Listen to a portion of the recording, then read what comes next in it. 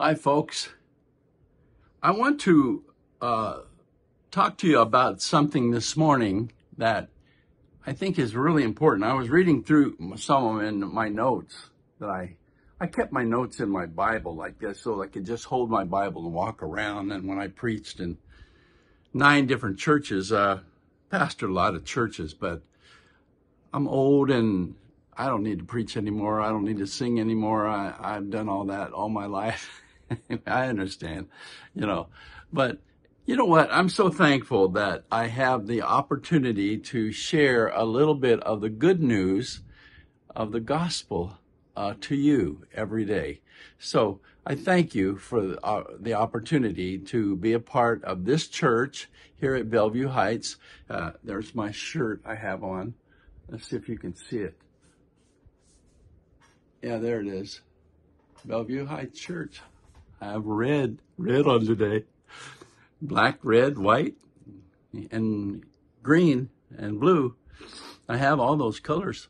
Anyway, uh, Philippians, uh, I might going to lose some of my friends. I, I don't want to because uh, I must preach the whole counsel of God when I when I speak. And uh, one of the things that uh, that the Lord has laid on my heart. And just recently, I was I was looking through this stuff, and uh, it says, learn uh, in Ephesians. Uh, it says uh, Philippians. I'm not Ephesians. here I go again. Philippians 10, 13, 4, 10, 13, 10 through 13.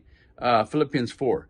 How grateful I am and how I praise the Lord that you are helping me again. I know you have always been anxious to send what you could, but for a while you didn't you, didn't have the chance.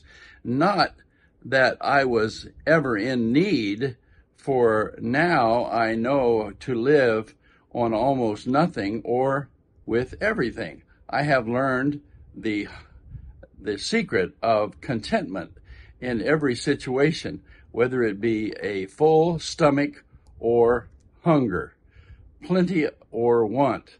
For I can do everything God asks me to with the help of Christ who gives me the strength and power. This is, that's Philippians 4, 10 through 13. And then uh, I wrote down some things or, or I typed it out here. Uh, learn to enjoy things without owning them.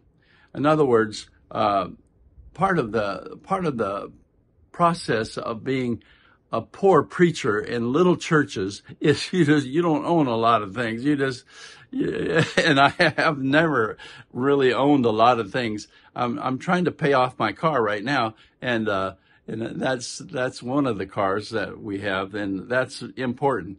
But anyway, that, uh, it'll happen. God always takes care of us. So in, here's what it says: owning things is an obsession in our culture. If we own it, we feel we can control it. And if we can control it, we feel it will give us more pleasure. The idea is an illusion. Many things in life can be enjoyed without possessing or controlling them. Sharing things, share things, enjoy the beach without feel, feeling you have to buy a piece of it. Enjoy public parks and libraries. This was written by Robert or uh, Richard Foster. And then uh, E. Stanley Jones said something very good too. Let me quote that.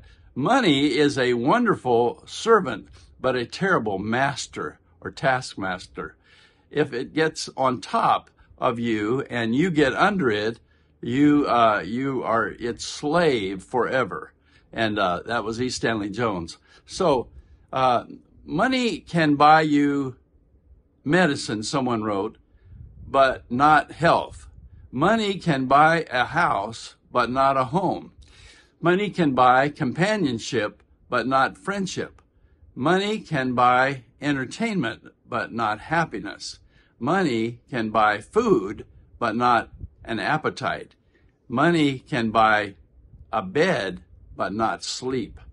Money can buy an agreement, but not peace. Money can buy a book, but not knowledge.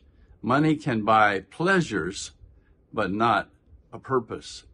Money can buy good life, but not eternal life. And then in uh, 2 Timothy, the third chapter and the first first 1 through 5, verses 1 through 5, it says, You may as well know this too, Timothy, that in the last days it is going to be very difficult to be a Christian, for people will love only themselves and their money. They will be proud and boastful, sneering at God, disobedient to their parents, ungrateful to them, and thoroughly bad. They will be uh, hard headed and never give in to others. They will be content, liars, and troublemakers, and will think nothing of immorality. They will be rough and cruel and sneer at those who try to be good. They will be, be, betray their friends. They will be hot headed, puffed up, and with pride, and prefer good times to worshiping God. They will go to church, yes, but they won't really believe anything they hear. Don't be taken by people like that.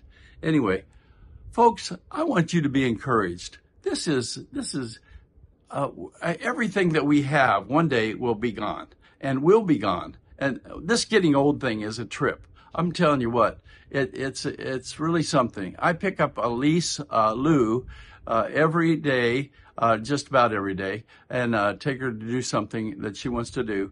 And she's got Parkinson's, and she's having such a difficult time.